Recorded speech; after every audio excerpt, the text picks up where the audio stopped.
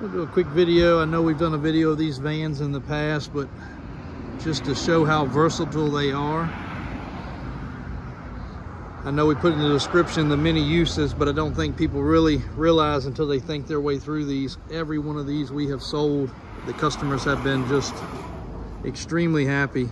A lot of people just see them as an old service truck from a Verizon or a telecommunication company, which you're right, that's what they are. These corporate companies have a ton of money.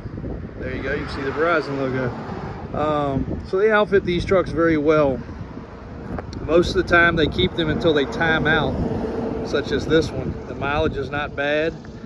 Um, this unit's got a built-in air compressor. Not really sure on that, but we do know that the generator works well. I'll fire that up.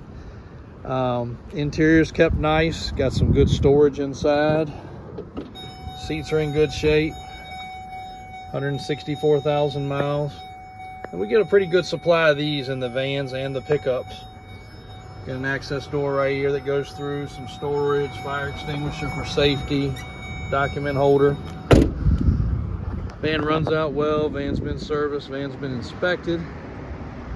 Again, they don't use, they're not perfect for everybody, but uh, trailer hitch on the back. There's your air compressor. Lots of storage, vents. Some of these even have AC built into the top. There's a whole circuit breaker uh, board there to run all the power accessories. Lots of shelving, storage areas. Ladder rack up on the roof. KUV style body so that you can slide all your stuff through here. Long materials hanging out if you need to, boards or whatever. Right here's all your plugs. You can hook up power. You got uh, 240 and 120 air compressor chuck as well. Uh, generator.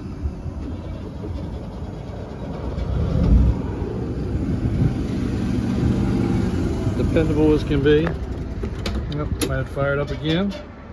Little blooper there. Hadn't been started in a while, so let's turn it off.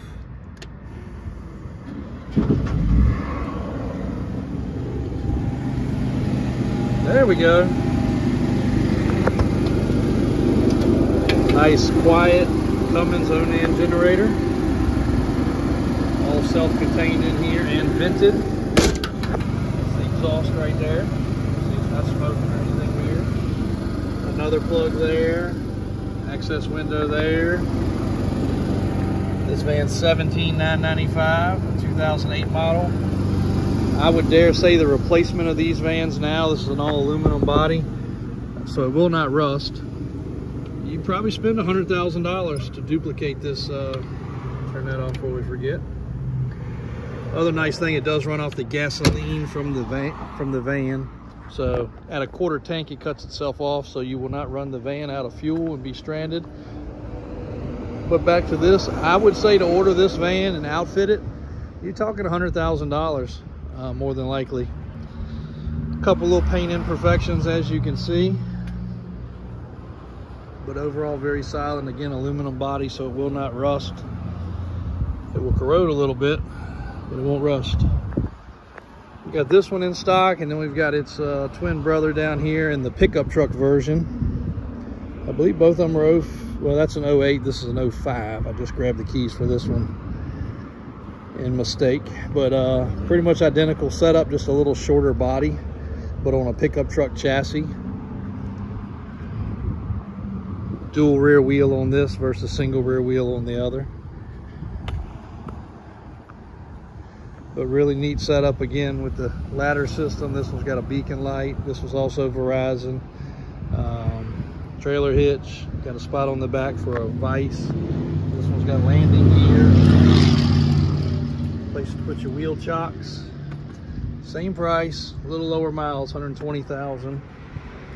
This one's getting ready to go through detail. Both of them are actually. Storage on the side, built-in generator as well. So if you're looking for something for a all-around job site truck, storage truck, whatever your needs are, We've had guys that use these for carpentry, keep all their supplies in it, run their air tools, run their equipment, nail guns.